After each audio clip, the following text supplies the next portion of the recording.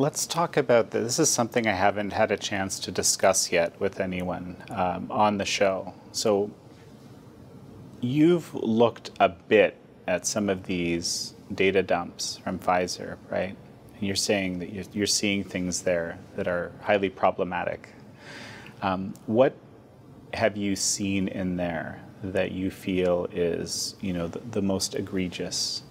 Well, the uh, table with the 11, I think it's 9 or 11 pages of adverse events, single line listing, concatenated, separated by uh, semicolons. So these aren't separate points line by line, they are concatenated. So there are multiple adverse events on each line.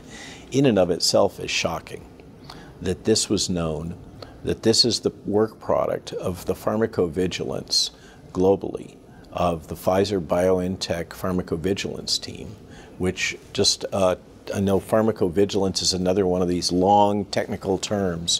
What what the if I can break it down, what it means is that after a product, a medical product is licensed, the international standards say that the marketing company, the, comp the sponsor that's, that's manufacturing and marketing that product, has an obligation to set up a separate department so it's, it's one of these kind of quality control things where a separate silo is set up for monitoring uh, reports coming from patients and physicians saying that these things have occurred after we have received this product. And they have an obligation, uh, global standards, to follow each one of those reports up which is akin to the CDC's obligation with VAERS, but the CDC doesn't take it as seriously mm. as the pharmaceutical industry has to take it. And so this is the work product from their pharmacovigilance shop at Pfizer BioNTech. And clearly they did not want to disclose this information because they fought hard, as did the FDA, to withhold this information. Most of this information in these disclosure documents were available to the FDA when they made their decision that these were safe and effective vaccine products and they should be fully licensed. So that the table that lists these adverse events in and of itself is stunning. These are adverse events of special interest. They've redacted the information about their frequency, um, mm. there is some overall tabularization of frequency by organ category, which is the like grossest, highest level summary. Um, they're not giving us the data about their event rate um, uh, for each specific uh, category or, or diagnostic code, which is essentially what all these are, is separate diagnostic codes.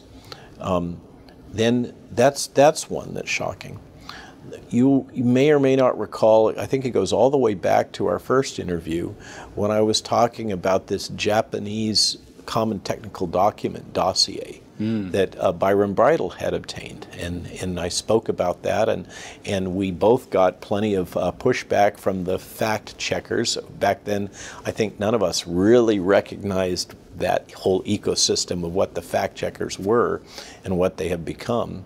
Uh, but back then, we all took it seriously, and it seemed so unfair.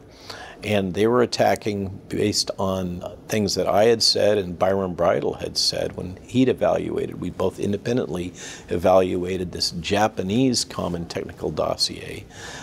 What we find now with the Pfizer releases is that all that was true and more. Um, so the suspicions that we had that we had inferred because we couldn't read the whole document. Neither of us are fluent in, in Japanese. Um, we could look at the tables and listings that were in English and draw conclusions based on that and the, and the um, footers that were describing those tables, but we didn't have the whole body of the document, let alone have the body of the parallel document that had been submitted to the FDA. We live in an era of censorship and disinformation, and it can be really hard to know what's true and what's false in this information climate.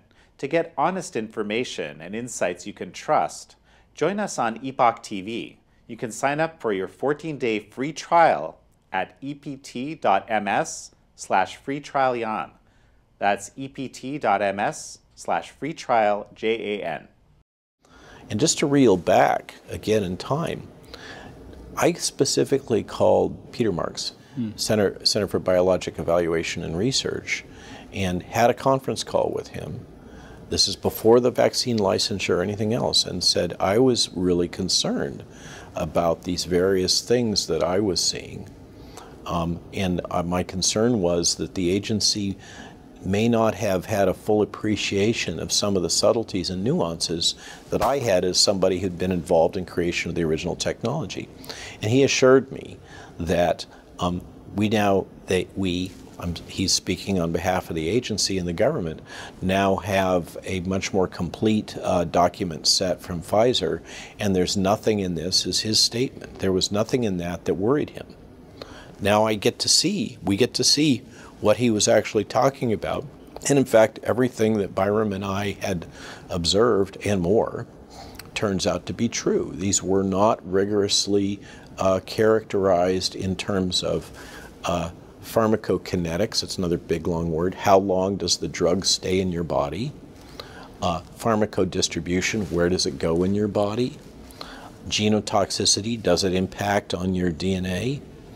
Um, reproductive toxicology is it a risk for reproductive health in animal models and subsequently in humans? Now we see from these documents that, that Pfizer knew that it was grossly overstating the efficacy.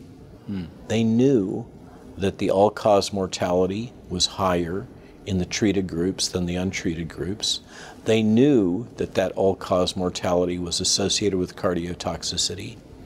They knew that many of the things that have subsequently come out had to trickle out. We've had to, it's like pulling teeth out of the CDC to get this information, as you know, because they've been so aggressively withholding things.